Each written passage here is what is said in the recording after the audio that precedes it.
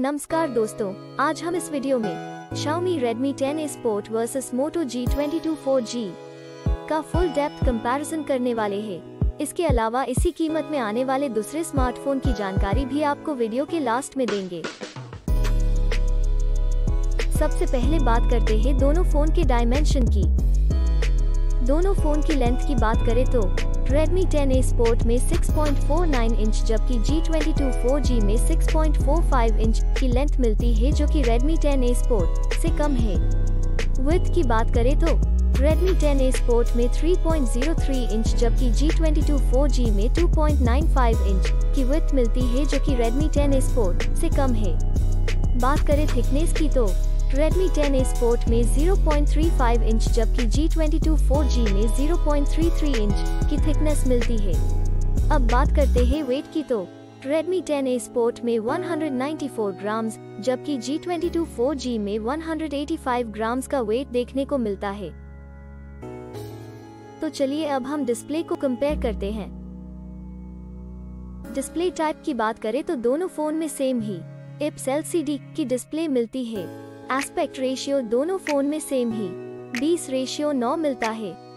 Display size की बात करें तो Redmi 10A Sport में 6.53 इंचेस जबकि G22 4G में 6.5 इंचेस मिलती है।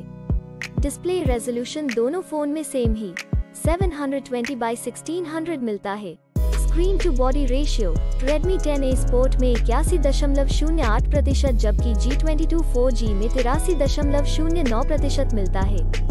बात करें पीपीआई डेंसिटी की तो।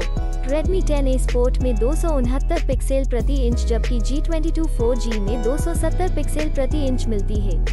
अब देखते हैं डिस्प्ले के अन्य फीचर्स यानी विशेषताएँ की, जो कि मोबाइल फ़ोन का महत्वपूर्ण हिस्सा है। अब बात करते हैं सबके पसंदीदा फीचर्स कैमरा की।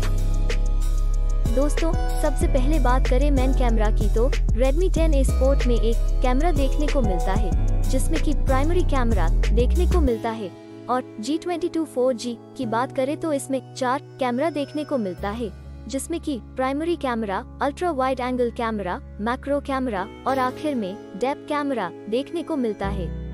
बात करें वीडियो कैमरा की तो Redmi 10A Sport में सात डिफरेंट टाइप के फीचर्स मिल जाते हैं और G22 4G की बात करें तो उसमें आठ डिफरेंट टाइप के फीचर्स मिल जाते हैं। अब बात करें फ्रंट कैमरा यानी कि सेल्फी कैमरा की तो। Redmi 10A Sport में सिंगल कैमरा देखने को मिलता है जिसमें कि तीन डिफरेंट फीचर्स मिलते हैं और G22 4G में भी सिंगल कैमरा देखने को मिलता है जिसमें चार डिफरेंट फीचर्स मिलते हैं। आइए अब बात करते हैं हार्डवेयर के बारे में जिसमें हम CPU, GPU, रैम की इंफॉर्मेशन देखते हैं। हार्डवेयर में सबसे पहले CPU जो कि स्पीड के हिसाब से देखा जाए तो फ़ोन में सबसे इम्पोर्टेंट पार्ट है उसकी डिटेल्स देखते हैं। जीपीयू दोनों फ़ोन में सेम ही। पावर जी ई आठ तीन दो शून्य देखने को मिलता है। चिपसेट की बात करें तो Redmi 10A Sport में MediaTek Helio G25 और G22 4G में MediaTek Helio G37 मिलता है। बात करें रैम की तो Redmi 10A Sport में 6 गीगाबाइट जबकि G22 4G में 4 गीगाबाइट रैम मिलती है। बात करें इंटरनल मेमोरी जिसको हम स्टोरेज भी कहते हैं वो। Redmi 10A Sport में 128 गीगाबाइट जबकि G22 4G में चौसठ गीगाबाइट स्टोरेज मिलती है।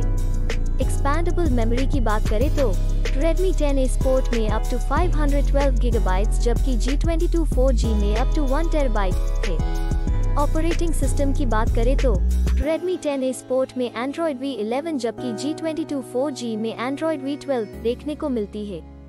बैटरी की बात करें तो दोनों फ़ोन में 5000 हज़ार देखने को मिलती है। आइए अब मेन फीचर को देखते हैं।